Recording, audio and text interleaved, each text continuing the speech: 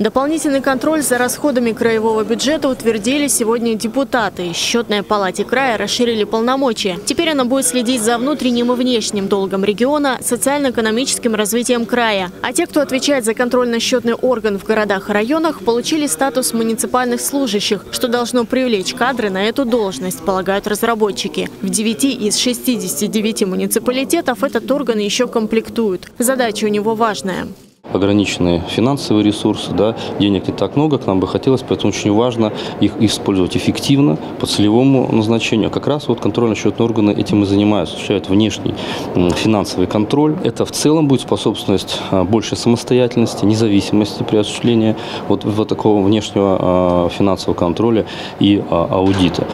Еще одна новость. Комитет по промышленности, предпринимательству и туризму создает экспертные советы для каждого направления, чтобы не опаздывать с рассмотрением общественных проблем. В состав нового органа войдут сами депутаты, представители исполнительной власти и предприниматели.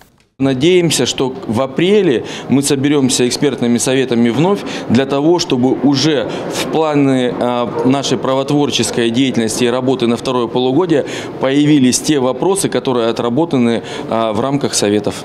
В заключительную сессию итоги подвел губернатор края Виктор Томенко. Он обозначил, что на 2022 год у региона большие планы. Наши финансовые возможности укрепляются. Но важно понимать повестку дня. Она включает в себя борьбу с коронавирусом, прохождение отопительного периода, транспортные проблемы. Высокая инфляция. Сильнейшее сегодня влияние оказывает на уровень жизни людей. Нам надо еще научиться – в этих условиях принимать своевременные и выверенные решения.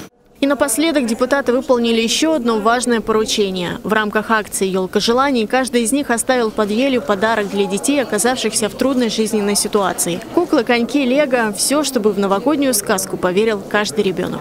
Анастасия Драган, Дмитрий Денисов. День с толком.